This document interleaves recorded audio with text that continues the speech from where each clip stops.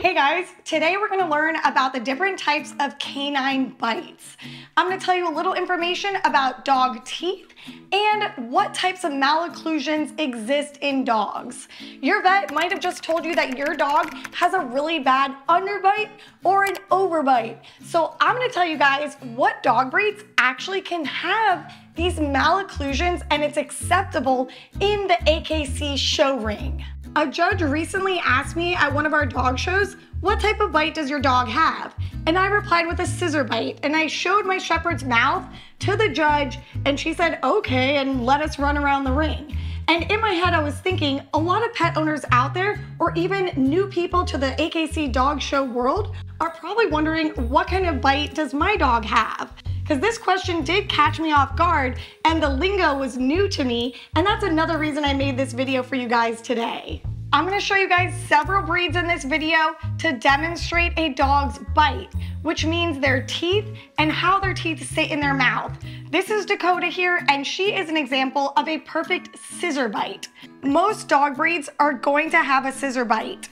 When we look at them, we can see that the molars and the premolars cross over each other, making a scissor appearance. And this is the type of bite that wolves have naturally in the wild. The next canine bite is the undershot bite. And this one we can see in bulldogs, shih tzus, boxer dogs, mastiffs, and even more breeds.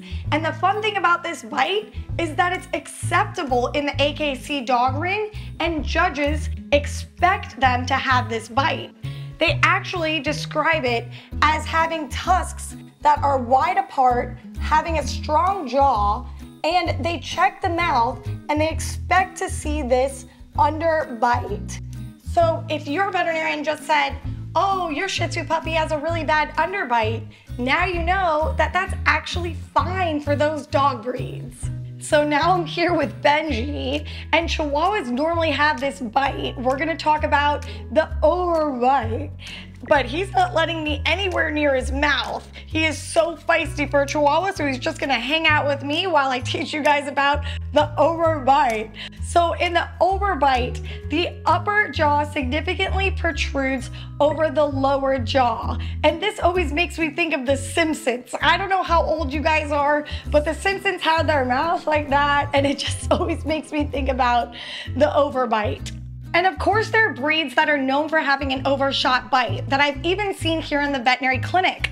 Greyhounds are one. These breeds are known for long, narrow muzzles, leading to incidences of mainly overshot bites when they're bred. And border collies, a lot of times, are inbred, leading to overshot bites. And now here with me is Roscoe, a really sweet border terrier, to talk about the level or the pincer bite. So this bite is where the incisors are completely level.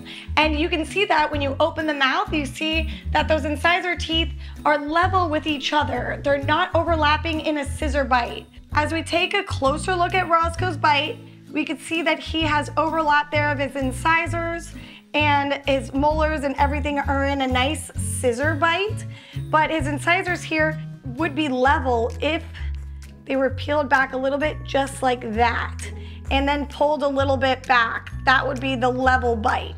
AKC judges may expect smaller dog breeds to have a level bite, and a lot in the terrier group, such as West Highland White Terriers, Scottish Terriers, and Wire Fox Terriers. But there are some other breeds, like the Bull Mastiff or the Boxer dogs, that can have a level bite. The last bite is the reverse scissor bite. And I've actually never really seen this malocclusion. There are certain breeds that may have it because the jaw is on its way to an undershot bite. So what happens with this reverse scissor bite is that the upper jaw teeth are within the lower jaw teeth and they can rub against each other. So this is a bad malocclusion where these dogs may experience pain as their teeth are wearing down on each other. All right, guys, I hope you learned something new today about your dog's teeth and the type of bite that they have. You might have landed on my video because you were worried about your Shih Tzu or your Bulldog's underbite and your vet made you really concerned. As long as those teeth aren't rubbing against each other and your dog is still eating fine, gaining weight, and they're happy, everything is okay. If you guys want to see me and my dog show at AKC Dog Shows, go ahead and follow me on my Instagram, Lindsay Butzer DVM, and you guys can watch us show. It's super fun, and it also helped me make this video for you guys because it gets pretty intimidating when the judges ask you all these questions about your dog's teeth. I post a video every single Sunday, so you guys can hit the bell to get notifications for when I post those videos, and hopefully you'll learn something new again about your pets.